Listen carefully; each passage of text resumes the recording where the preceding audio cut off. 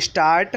अध्यक्ष महोदय, यदि एग्जिट पोल के आंकड़े सामने आने के साथ ही विपक्षी दलों के विभिन्न नेताओं की गतिविधियाँ तेज़ी पकड़ रही हैं तो यह सहज ही समझा जा सकता है कि उनका एकमात्र उद्देश्य इन किन प्रकारेण सरकार बनाने की संभावनाएँ टटोलना है, वे इन समस्याओं की तलाश करने के लिए स्वतंत्र हैं, लेकिन क्या यह बेहतर नहीं होता कि चुनाव नतीजों की प्रतीक्षा की जाती और फिर परिस्थितियों के हिसाब से कदम बढ़ाए जाते? सवाल यह भी है कि यदि विपक्षी नेता मोदी सरकार की वापसी रोकने को लेकर इतने ही प्रसिद्ध थे तो फिर उन्होंने चुनाव पूर्व कोई गठबंधन क्यों तैयार नहीं किया? बिहार की तर्ज पर राष्ट्रीय स्तर पर महागठबंधन बनाने की बातें तो खूब की गईं, लेकिन नतीजा ढाक के तीन पात वाला ही रहा। अच्छा होता कि अंतिम चरण का मतदान संपन्न होते ही इधर उधर दौड़ लगाने के बजाय विपक्षी नेता इस पर आत्ममंथन करते कि आखिर बेंगलोर, दिल्ली और कोलकाता में अपनी एकजुटता का तमाम प्रदर्शन करने के बाद भी वे चुनाव पूर्व गठबंधन बनाने में सक्षम क्यों नहीं हुए? ध्यान रहे कि केवल महागठबंधन बनाने के दावे ही नहीं किए गए थे, बल्कि न्यूनतम साझा कार्यक्रम तय करने का भी वादा किया गया था।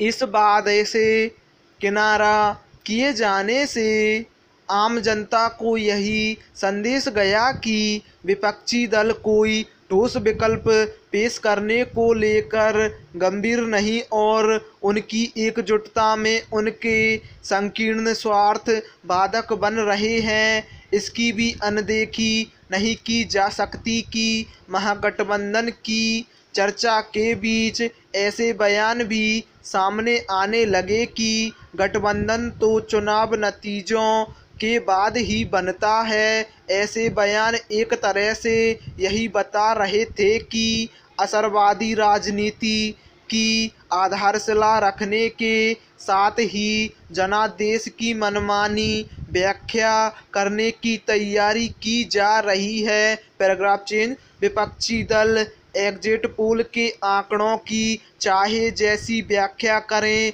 सच्चाई यह है कि उन्होंने जनता का भरोसा हासिल करने के लिए आवश्यक कदम उठाने से इनकार किया।